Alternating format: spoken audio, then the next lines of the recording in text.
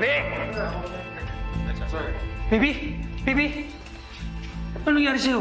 Ha? Sino gumawa niyan? Sino, sino gumawa? Sino nalaki sa'yo, ha?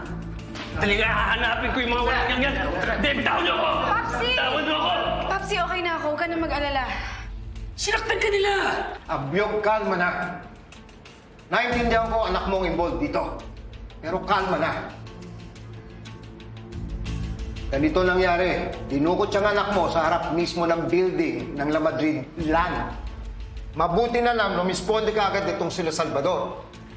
Dahil kung hindi, speaking of Salvador, nasaan ka ba? Ha? Kapartner mo to eh. Saan ka ba pumunta? Sir, di ba nagpaalam ako na malilito ko pumasok ngayon kasi may dialysis yung misis ko? Eh kung alam ko na mangyayari sa anak ko to, pinagpabukas ko na yung dialysis ng misis ko. Sir, hindi nga kayo matawagan eh. Ultimo si Briggs, hindi kayo makakontak.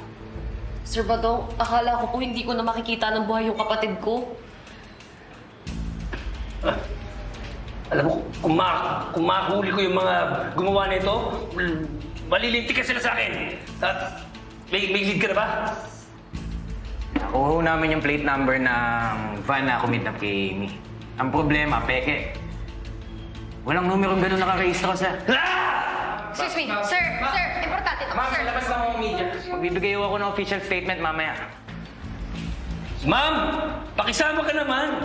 Manggugulo ka lang dito eh. Ah, sir, kaibigan ko po siya. Kami po ang witness sa pagdukot kay Amy sa harap ng building namin. Yes, sir. At kailangan niyo po itong makita. Yan. As you can see, bago po madukot si Amy nung van, merong dalawang lalaki na kaskimas ang unang nagtangkang dumukot kay Amy. Pero pati yung dalawang lalaki niyo, dinukot ng van. Ibig sabihin, dalawang grupo yung gustong kumidnap kay baby.